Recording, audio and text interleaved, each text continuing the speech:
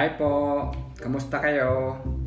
Ah, nais ko lang pasalamatan yung mga taong sumusuporta sa atin. Lalong-lalo na kahit na kakasimula pa lang natin, ah, nandyan na po ang kanilang suporta. Maraming maraming salamat sa inyo.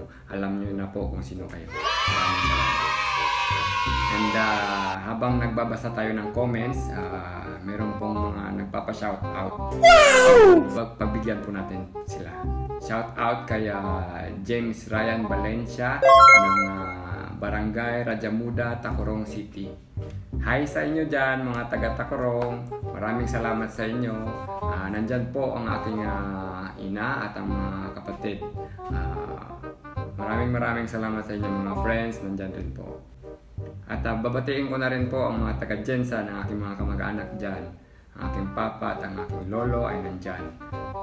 Hi po sa inyo, miss na miss ko na kayo, mga pinsan ko, mga tito, tita ko. Hi sa inyo.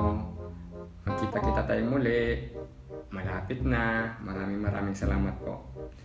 At sa mga kapatid ko dyan sa Luzon, nasa Manila, nasa Pandakan, Manila, and uh, sa San Mateo Rizal, ang aking kuya, hi po sa inyo. Miss ko na kayong lahat. At nagpapa-shoutout rin po si Provincianang Pasaway. Ah, ito po ang kanyang YouTube channel. Ah, napanood ko po ang kanyang mga videos. Ang saya po. And I guess nasa Jeddah rin po siya. Maraming maraming salamat sa iyo. Sana po i-subscribe niyo po siya. At may nagtatanong po, no? Ah, ito po ang kanyang tanong. Ah, Lodi, pwede po bang i-hand carry ang tangke ng gasol? What? Tatlo po kasi sayang.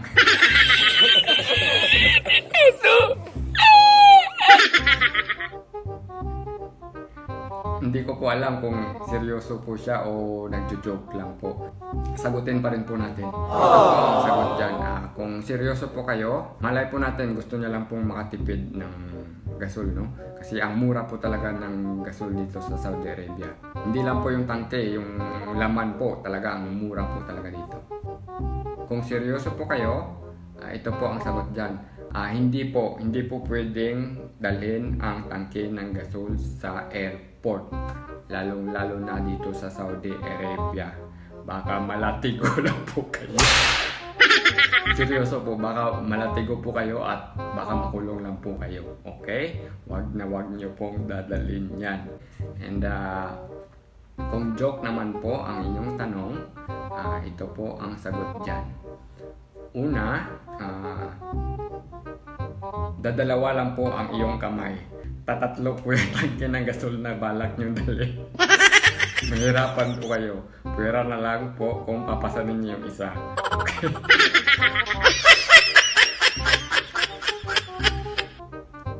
Pangalawa, yung luggage compartment po natin sa eroplano ay maliit. Hindi po kakasya yung tangke ng gasol. Sana po huwag nyo lang pong dalhin pakiusap. Mag-ingat po tayo kabayan. Huwag mo pong dadalhin. Huwag po kahit babalaking dadalhin. Kahit palabas pa lang po ng inyong bahay dyan. Mahirap po. Baka sitahin po kayo. Hindi nyo po maikakasya yan kahit sa taxi. Mahirapan po kayo.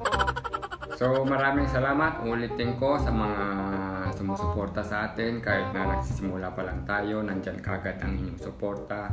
Maraming maraming salamat po. Galing po yan sa puso. Ah, maraming maraming salamat sa inyo. Alam niyo na po kung sino kayo. At sa mga hindi pa nag-subscribe, subscribe na po kayo at i-click nyo na rin po yung notification bell. Okay, maraming maraming salamat po.